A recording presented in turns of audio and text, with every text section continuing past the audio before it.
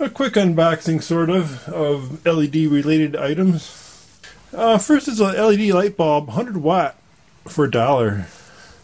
100 watt equivalent for a dollar. I thought that was pretty amazing. It's not dimmable. I'll look at that later. I bought a little tiny camera. Finally came in. And I'm working on my security cameras right now, so it's kind of interesting to see if I can use this in the same way I use my other cameras. So that'll be something to play with. I also bought an infrared light, and this is for my security system as well.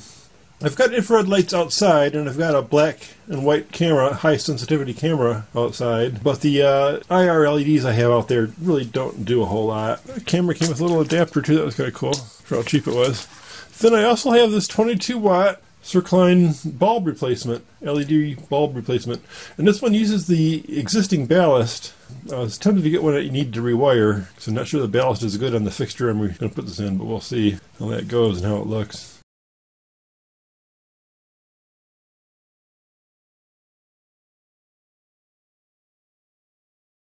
Anyway, the failure mode in this, it does light the filaments. But even if I let them go for a while and really heat the tube up, it just won't trigger. And I've tried holding the tube upside down and doing that and keeping my hand on the thing and doing that. I just can't get to light up no what I do. So I'm wondering if the ballast is actually broken, in which case this bulb probably won't work. This replacement LED bulb, because it needs the ballast. But I've got other lights I can use it in. And there she goes. It's quite bright. The color looks pretty good. Better light quality. Well, it looks pretty good. I wish I had a chart, one of those charts you can check lights with to a degree. But yeah, it's brighter. At least it's bright, if not brighter than the original. Very bright. And it worked, no problem.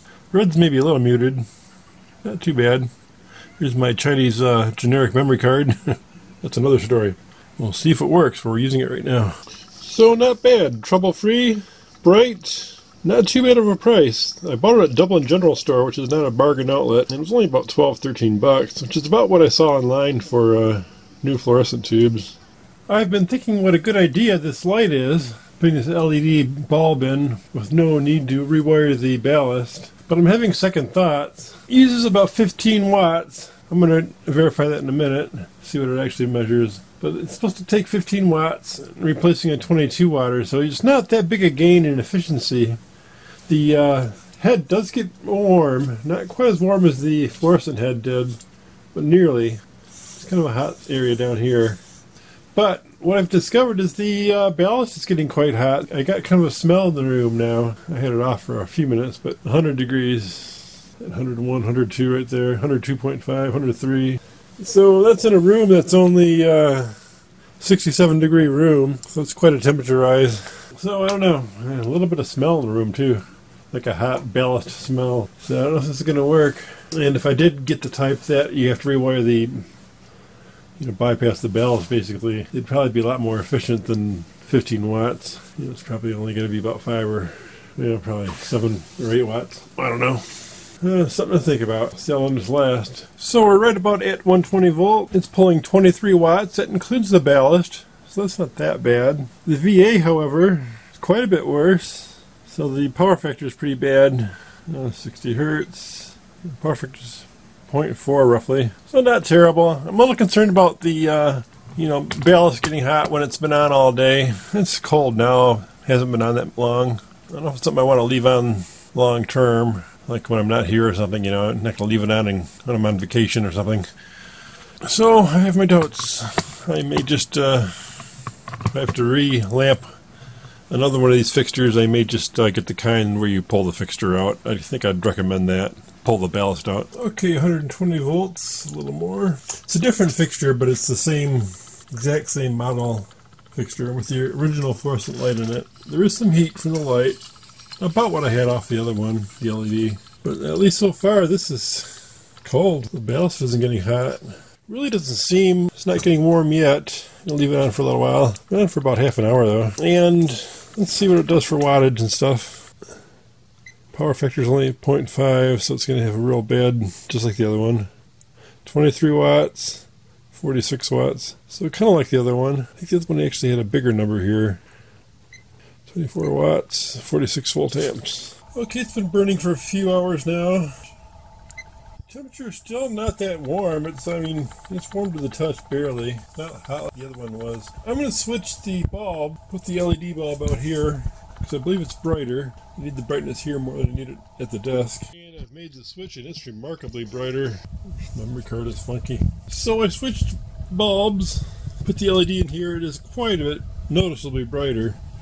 Way noticeably brighter. It's not that bright, so getting kind of old. Maybe that's part of it too. It may not be at its peak brightness. The LED is certainly much brighter. However, the power usage is a little bit higher. The VA is higher, and the watts are one higher. So I'm gonna let it run a little while, see if this gets hot like the other one did. As for the 100 watt LED bulb, it's a very nice light. Real nice white, daylight type white. Nice white balance not too uh, bluish or harsh. Very bright. It's a lightweight bulb too. It's not so heavy. I had this other fixture up here, and I had this heavy bulb in it. That bulb weighs quite a bit less, which is no trouble at all for this fixture. I put a different fixture up, put it up higher. A little better lighting for the bench here. And this base is getting a little bit warm. Now that I've had it running with the LED for about an hour, probably not even an hour. And it's pretty cold in this room. That's more or less the ambient temperature. And you can see this one's 110. But yeah, it's pretty hot here. It's been on a few hours. LED, other fixture. And I verified that the tube that was originally in the other fixture, where the ends just glow, but it never lights up, it does the same thing in this fixture. This 100 watt bulb has been burning all day. It's only a little bit warm in the fixture, not too much at all. It's a pretty well vetted fixture. Good one for this, should be. But it's got a real nice neutral light. Looks like it has a good spectrum from what I can tell. So I'm going to see how this does on the oh, 12 watts. And it said it was 14, so that's a little less than spec.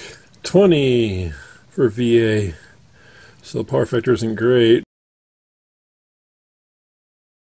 So I already mounted the bracket for the new illuminator. And I had some old infrared bulbs here. IR LEDs weren't too effective. Some more somewhere else. To the eye, I can only see a real faint glow, and in bright white light, I can't see a glow at all. It gets washed out. But in this dim light I'm in right now, I can see just dim red glow on all these LEDs. Whereas in the camera, obviously, it looks like it's purple. Okay, I'm in a dark room. It's a green LED across the room. I can't quite see it. And here's the IR unit. Not illuminating much for me with this camera. Not the results I hoped for, but hopefully with the other camera, I'm going to be using a black and white camera that's got extra sensitivity for night vision. Hopefully it lights up a lot better with another camera, with my black and white outdoor high sensitivity camera. It's not doing too well with this camera, which isn't made for infrared. I actually has an infrared filter, so that's part of it. But that'll be for a future episode when I get working on the cameras, and I'll show this again with with the black and white security camera.